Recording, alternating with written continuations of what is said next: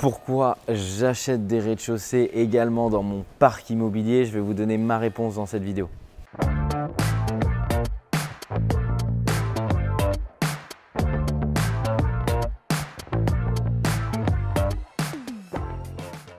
Bonjour à tous, je m'appelle Mickaël Zonta. Si vous tombez sur cette chaîne, j'ai la chance et l'honneur de diriger la société investissementlocatif.com et c'est plus de 200 clients, peut-être et sûrement l'un d'entre vous derrière la caméra et je vous en remercie, à accompagner par an euh, dans des opérations immobilières très rentables puisqu'on vous a accompagné à Paris, à Lyon, à Marseille, en Ile-de-France et bientôt dans d'autres villes puisqu'on a la chance d'ouvrir trois villes prochainement là dans les trois prochains mois.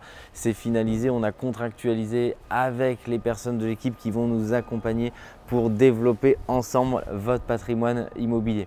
Euh, vous m'avez sollicité beaucoup parce qu'on entend plein de choses sur les rez-de-chaussée, est-ce que c'est bien, pas bien? Et souvent les gens disent je ne veux pas euh, de rez-de-chaussée ou ils en entendent que du mal et je voudrais vous dire pourquoi une des dernières acquisitions que j'ai faites euh, est en rez-de-chaussée. Ce qu'il faut arriver à bien comprendre, c'est qu'on est dans le cadre ici d'un investissement locatif. Donc sauf cas extrêmement euh, particulier où ce serait votre volonté, mais vous n'allez jamais y vivre. C'est un placement financier dans l'immobilier et il se trouve que les rez-de-chaussée bénéficient d'une décote importante qu'on va coupler la plupart du temps quand on souhaite ou parce qu'on voit une bonne opportunité en rez-de-chaussée, bah, dédoubler parce qu'il y a la partie travaux, donc vous avez encore une décote dessus et que ça se loue de façon très facile. Je dis souvent, il suffit d'avoir un locataire, que vous ayez 1000 dossiers, 100 dossiers, 50 dossiers, 4 dossiers, il n'y en faut qu'un. Il n'y a aucune difficulté dans les villes dans lesquelles on intervient pour trouver euh, un locataire de qualité avec un dossier sérieux et solvable. Et donc, ça nous permet tout simplement de faire des rentabilités bah, extrêmement intéressantes sur ce type de produit. Alors, chez Investissement Locatif, on va, notre leitmotiv, c'est d'être opportuniste, soit rez-de-chaussée 1, 2, 3, 4, 5, peu importe, en dernier étage.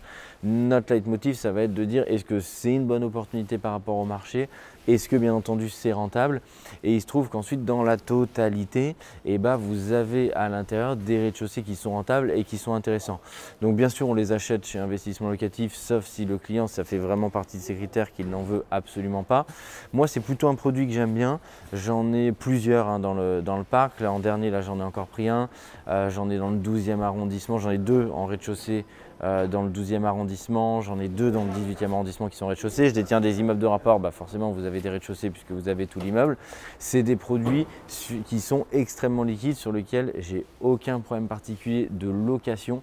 Et du coup, en fait, dans l'intégralité de l'immeuble, si on le décomposait la plupart du temps, c'est eux euh, qui sont même un petit peu plus rentables.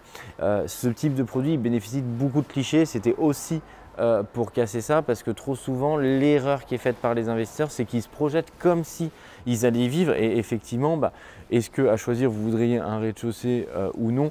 Bah, La plupart du temps non, on préfère vivre en étage et d'ailleurs plutôt en étage élevé avec ascenseur pour la luminosité, pour la vue.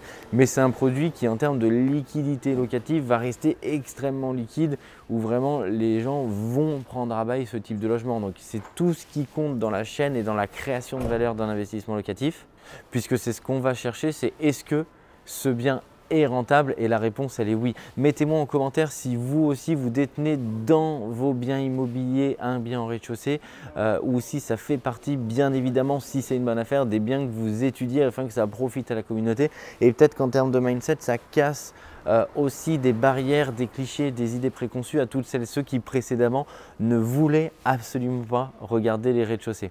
Je vous dis à très bientôt pour d'autres vidéos et d'autres conseils. Ciao